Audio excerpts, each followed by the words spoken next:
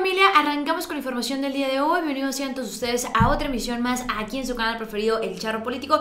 Y bueno, mi querida familia, platicarles que la poderosísima jefa de gobierno Claudia Sheinbaum le pone unas cachetadas guajoloteras al empresario Emilio Azcárraga, dueño de Televisa, así como también pues muy influyente en los negocios del fútbol mexicano, que dicho sea de paso, ya emprendió el SAT una investigación en contra de la Liga MX.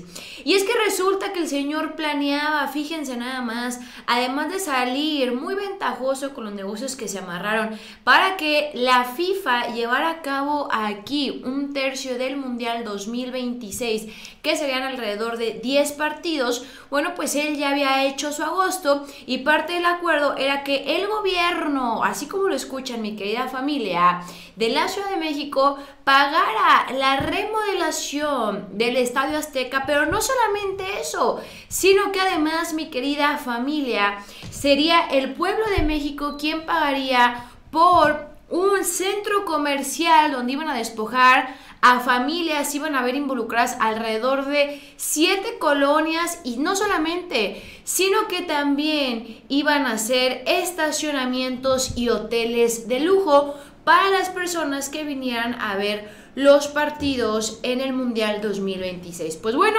la jefa de gobierno lo aplacó en un 2x3, le dijo que el gobierno de la Ciudad de México no va a poner ni un solo peso partido por la mitad para que el señor se siga haciendo todavía más rico, solo eso faltaba que el proyecto, el presidente ayudara a esos vividores del sistema y no solamente eso, sino que también hoy se pone sobre la mesa si continúa o no los preparativos para el Mundial 2026, luego de que la FIFA no quiere dar su brazo a torcer de que aquí en México también tienen que pagar impuestos. Así que acompáñame, esto ya tronó, la gente, la afición del fútbol está en shock, no sabe qué creer, no sabe qué pensar, pero no podemos dejar por alto familia la corrupción. Así que acompáñame en este video y dice así. Ustedes recordarán que el presidente Andrés Manuel, lo estamos viendo en estos momentos, bueno, pues pidió, mi querida familia, investigar finanzas y presunta corrupción en el fútbol mexicano. Tenemos que el presidente también dio un manotazo sobre la mesa. Si hay mundial en México, la FIFA debe pagar impuestos. Tan tan se acabó, no hay de otra. Si en Estados Unidos y en Canadá así será, porque aquí en México no. Y es que este acuerdo se habría firmado en confidencialidad con el gobierno de Enrique Peña Nieto, que les habría permitido, gracias gracias a las negociaciones de Emilio Azcárraga que no se pagaría ni un solo peso de impuestos. Pero pues, ¿qué creen? Entró la nueva administración y una de las políticas del presidente es todos pagan impuestos. Ahora, vamos a escuchar esta declaración del el suspenso que se está viviendo en el fútbol mexicano y dice así. De cualquier categoría negocia con los gobiernos locales, los gobiernos federales, el que todos sus ingresos estén exentos de impuestos. Cuando vino la organización y la candidatura para la Copa del Mundo United 2026, evidentemente nuestro país estaba gobernado por un sistema corrupto, por un sistema que lo mismo un ente estatal compraba un palco en el Estadio Azteca para beneficio de ellos. Han cambiado las cosas en nuestro país.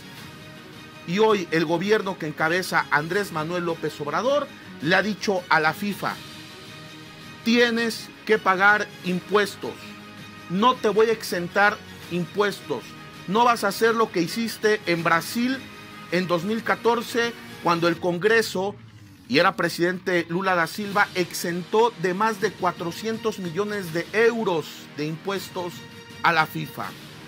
De acuerdo a cifras estimadas, United 2026 tendrá una ganancia y recaudación de 14 mil millones de dólares, de los cuales 11 mil millones irán directo a las arcas de la FIFA. Hace unos días, aquí mi compañero Gerardo Velázquez de León mandaba un mensaje a nuestro presidente Andrés Manuel López Obrador, que no lo engañen.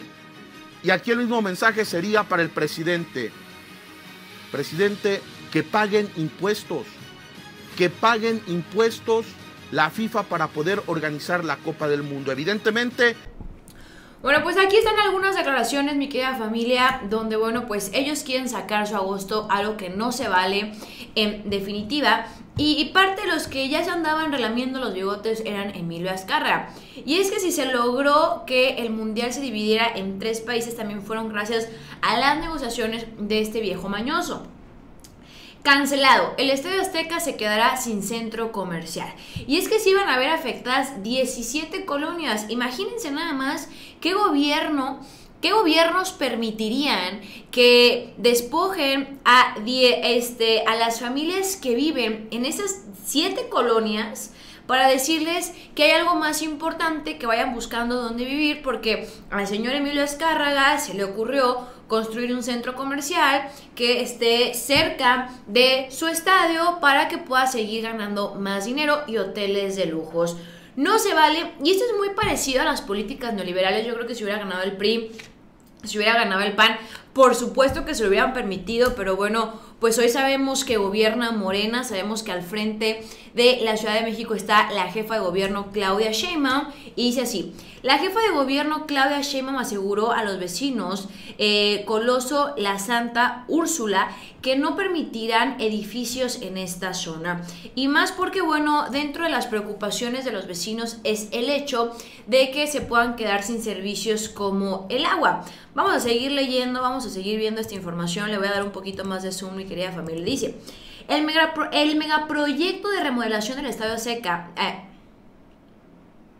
el megaproyecto de remodelación del Estadio Azteca da cara a recibir el Mundial 2026, incluida la construcción de una plaza comercial cercana al recinto futbolero, para detonar la economía en la zona. Sin embargo, esa parte del plan fue cancelada por la actual administración.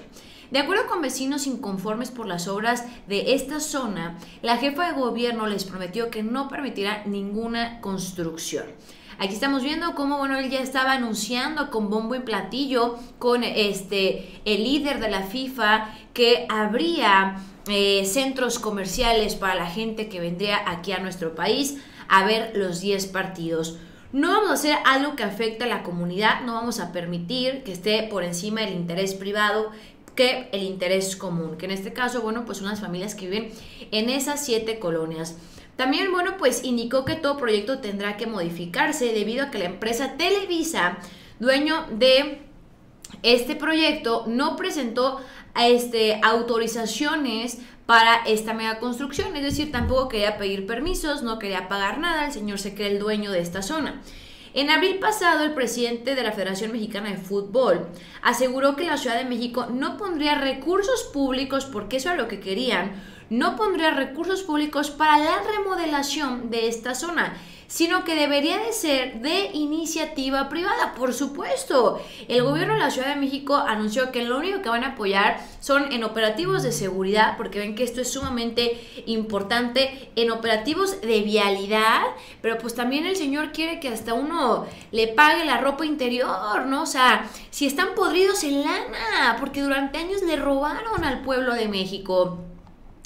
Aquí tenemos que también, bueno, eh, ellos planeaban que la construcción iba a durar alrededor de 18 meses para estar listos en 2026 con una plaza comercial, pero también buscaban construir un hotel de lujo con un gran estacionamiento para lucrar, para que la gente se estacionara y bueno, pues también pagara por si iban a ver los partidos, ¿no? Que aquí lo estamos viendo en estos momentos. Ahora, continuando, obviamente pues hubo manifestaciones por parte de los vecinos de la zona que conforma el Estadio Azteca, donde bueno, pues ellos piden que esté por encima eh, la salud, los servicios, porque de por sí esta zona carece un poco de ahora, imagínense, con una plaza, con un hotel, despojando o desalojando, sería la, palabra correcta, a capitalinos, pues iban a, se iban a quedar sin temas tan importantes o servicios tan importantes como son los de el agua. Entonces aquí podemos ver algunas de las protestas Aquí también tenemos que Emilio Azcárraga negoció para que México comparta el Mundial en 2026 con Estados Unidos y Canadá,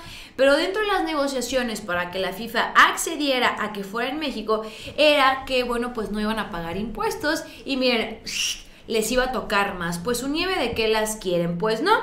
Este golpe lo da el gobierno de la 4T y bueno, pues ya ha quedado en evidencia, inclusive una firma en Estados Unidos le dio una gran multa a una empresa que trabaja con la Liga MX, que bueno, pues estaban haciendo negocios de, bueno, oye, a los equipos dame tanto y te subo a primera, oye, si no me das tanto, te bajo de primera, y al final una cochina extorsión. Por eso es importante que se sigan las investigaciones del fútbol, se mueve mucha lana y se pagan muy pocos impuestos. Familia, yo soy un calzón para el charro, no olvides compartir este video y nos vemos hasta la próxima. Adiós.